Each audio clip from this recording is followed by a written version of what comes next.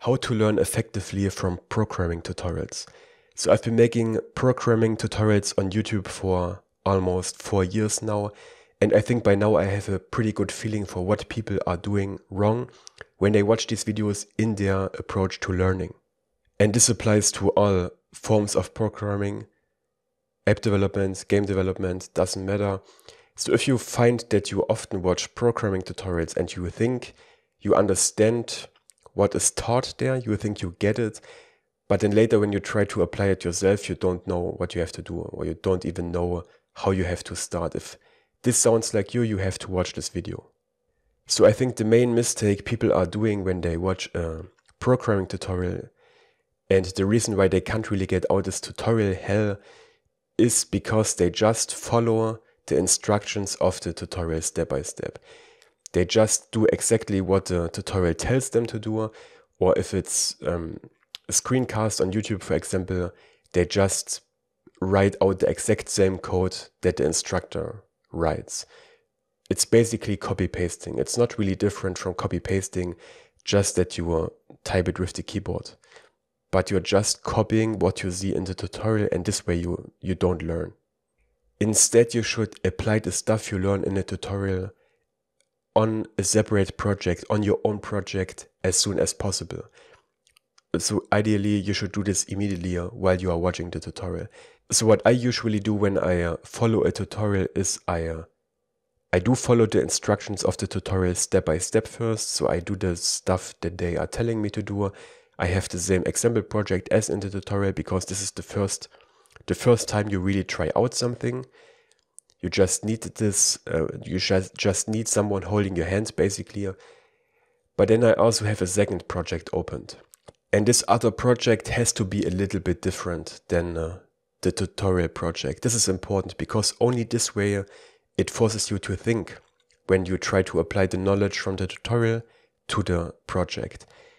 So uh, let's say the tutorial builds some kind of beginner app with a database and UI and a little bit of architecture. Then the project I'm building for myself has a little bit of a different UI. I save different data into database. I try to apply the same architecture but with my own requirements that are a little bit different. And when I write tests, then my tests have to be a little bit different. And this is really the important part that your project is different than the tutorial project. Because this way, every time you try to apply one of the steps of the tutorial, you always have to think. You have to think, okay, how do I have to change this that I can apply it to my own project? What's the what's the essence of this step? What are we trying to do? And how can I do this by myself? And because your project is different than the tutorial project, there will also be steps that are not described in the tutorial and then you have to Google them.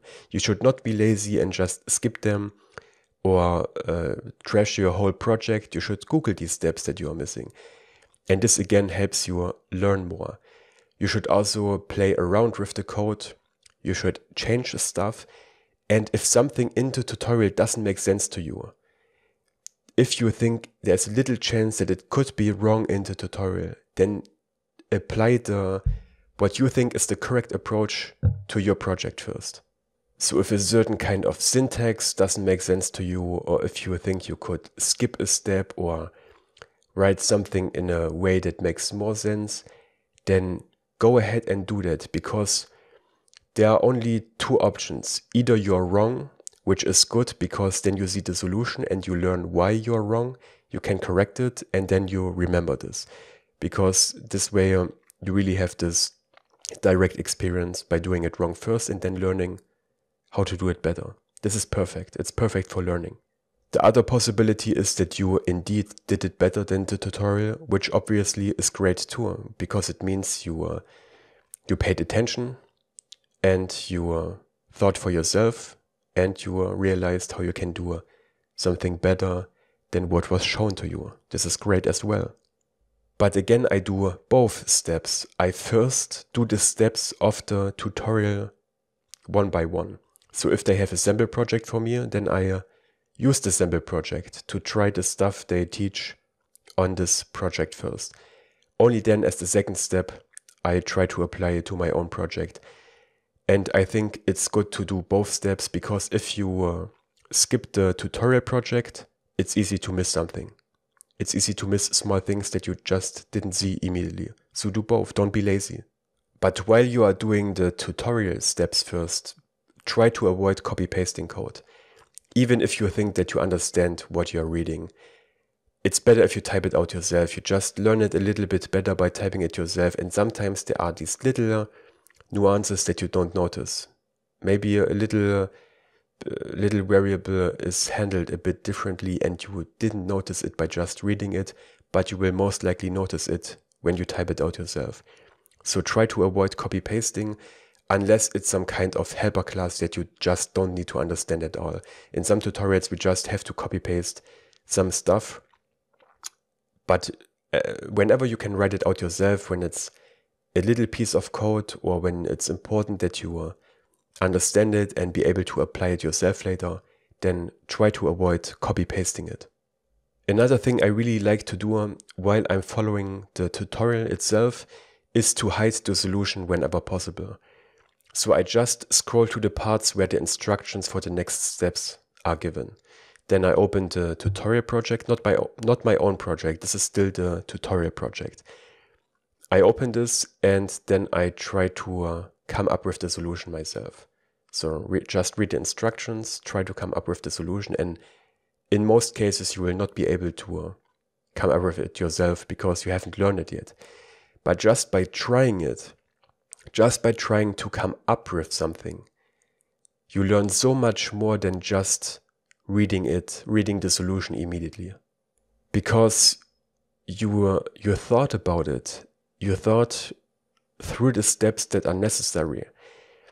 And you try to uh, implement these steps with the with the code with the stuff you know at this time. And when you do this and then see the solution then your your brain just makes this connection between what you thought was right and what is actually right. And i think this way uh, you just learn so much more. And when you do this approach to learning you will find that it feels a bit uncomfortable, but this is this is good because discomfort means that you are actually learning something. Because if learning or programming feels easy all the time, then it means that you're either just copy pasting or that you are just doing what you already know. And it's okay to uh, just code for the joy from time to time, of course, but you have to make sure that you don't rest in this comfort zone for too long because it's very unlikely uh, that you are really uh, learning something new in these phases. So, real learning, real deliberate practice feels a bit stressful. It's just part of the learning process because this is how your brain handles um, making new connections. It doesn't feel it doesn't feel um, easier, but it also alternates with these moments of joy when you finally get something, when it finally clicks, and when you realize that you uh, you increase your competence a little bit because now you have built this new skill and you uh, you didn't just copy paste or try to memorize something. You really understand how this stuff works and how you can come up with it yourself in the future. So try to purposefully uh, seek out these moments of discomfort. Try to learn difficult new stuff and don't be lazy. Don't just copy paste, try to really implement it yourself. This, in my opinion, is really the, the key to learning programming or any other skill for that matter effectively. But it's also important that you, uh, you build some resilience. You, if you get discouraged very fast when it becomes hard, then you will just give up. So uh, don't be discouraged if something is difficult, if you don't understand it immediately. I uh, I'm learning stuff every day that I don't get. But when you keep tinkering with it and when you keep repeating these steps by implementing them yourself again and again, then you will eventually get it. And ultimately, it all comes down to effort and then repetition. Also, don't just try to memorize the code or the steps you have to implement because Memorizing something is often a sign that you don't actually understand it. You basically just copy the steps from your memory. Instead, it's important that you uh, actually understand why you implement something a certain way.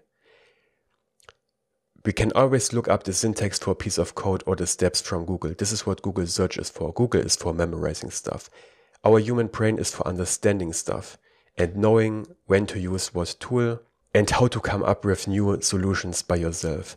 And you really only learn this by uh, thinking for yourself, as I explained, by uh, implementing the stuff you learn in a little bit different form in your own projects.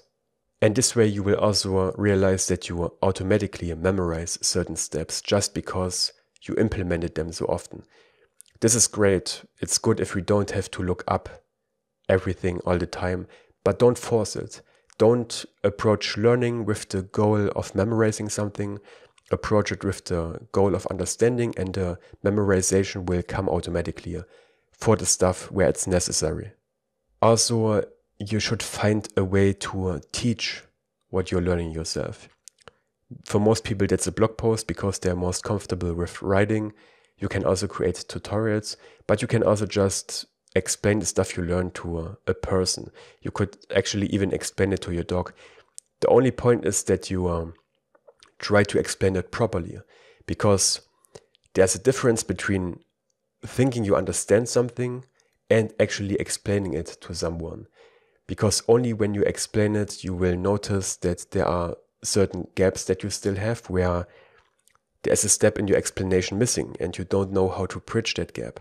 This way, you notice that you still have holes in your knowledge. And these holes are very easy to miss when you uh, when you never actually try to explain it to someone. But if you create content on the internet, please don't create lazy content. I can't tell you how often I find my own videos turned into blog posts with the exact same code, the exact same explanations, because people just copy paste them and then try to turn uh, transform them into their own content. And by now it should be obvious that this doesn't make you uh, learn something. This is just a lazy approach where you don't have to think at all. It won't benefit you it won't benefit your your brand or how other people or your reputation. It's it's basically just a bad idea all around. But if you put in the effort and if you practice deliberately, like I explained in this video, then you can actually learn difficult stuff pretty fast.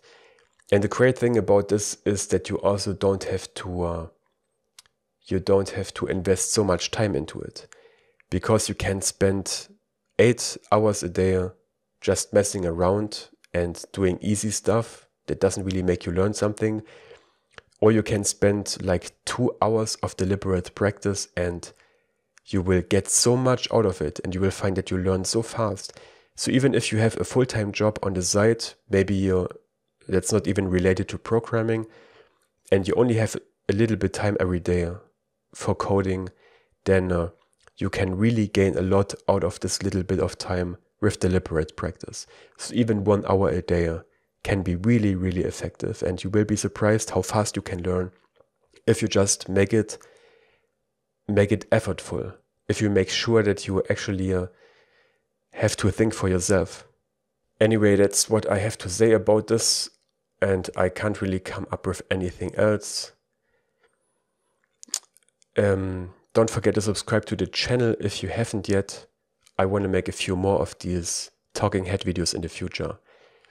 Activate this little bell icon at the bottom so you don't miss any future videos. And leave a like because it helps the, the video and the channel. And then I hope I see you again. Take care.